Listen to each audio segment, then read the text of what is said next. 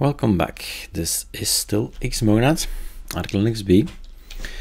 Could have easily been ArcoLinux D, doesn't really matter, it's just the way how it's delivered to you. We are at more or less the bottom. You see here the minimap, this is minimap, more or less where you are.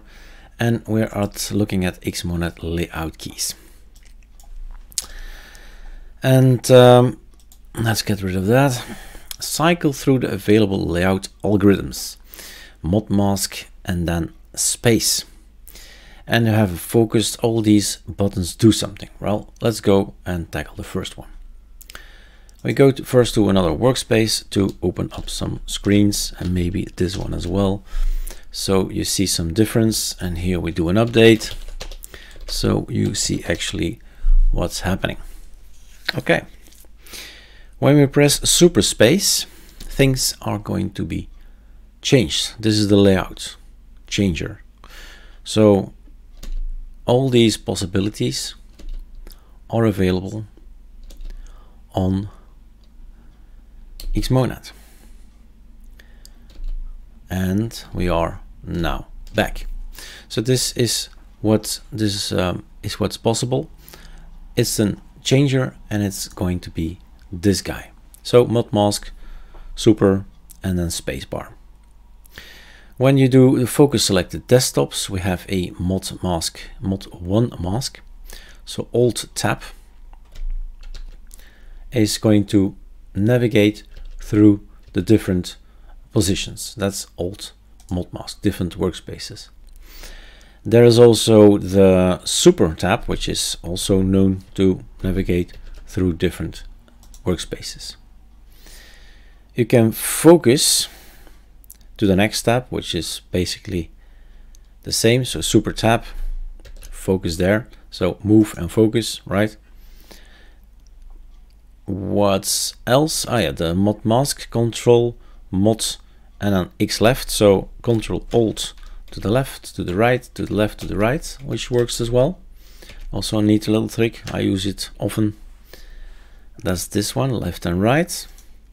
Reset the layouts on the current workspa workspace to default.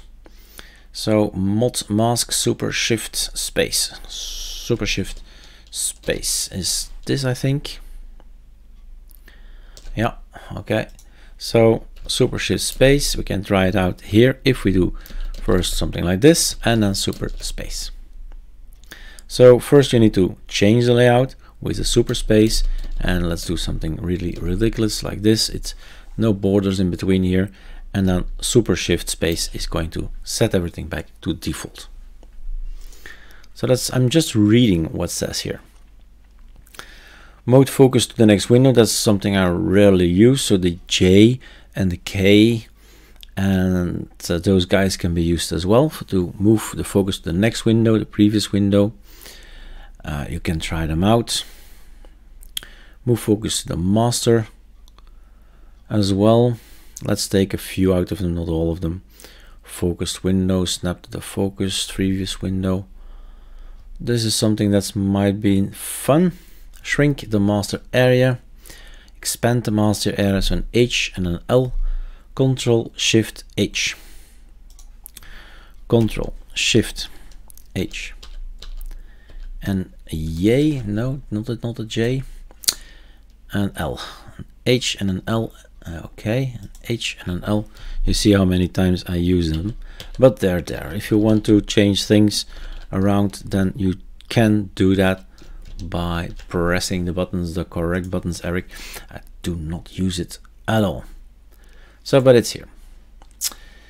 Uh, focus, swap, focus, shrink. Uh, okay, this has been done. Push back. This is an interesting one. This is the one I'm do really do use. Control Shift T. So uh, is it Control? Control Shift T. No, I'm wrong. Shift T. Is this line I'm looking at? Push push window back into tiling. So let's say we have a window. We moved it around and it's floating. We do that with a super pressed in and then left mouse, and we say, "Oh my God, I want to get it back into tiling." Control Shift T is that shortcut. And this one is going to make everything default again move it over here and then you do Control Shift T, everything is back tiled. And that's probably this one. Yep, Control Shift T. You see from from time to time you read it and at some point in time it becomes a finger movement and you don't know what, what you're pressing but you're tiling it back, you're pushing it back into tiling. That's when it's becoming finger memory. Control mask, mod mask, left, so control super and to the left, increment the number of windows in the master area. Never use that. Okay, fine. So we can do some things here with arrows, control super, and we switch it around.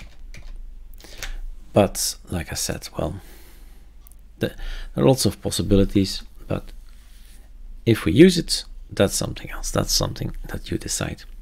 This is one thing I really do use. If you want to move a client to a specific workspace, you're trying to work here and it's, it's becoming too small and on number three there's nothing, workspace three there's nothing. So I got, I'm gonna say super shift three to this guy and on three there is my uh, Thunar now. So I can move this thing around, say no, I'd rather have it on super shift 4 and it's to be on 4 now. So that's something I really do uh, need because if you're opening up application, application, application, control shift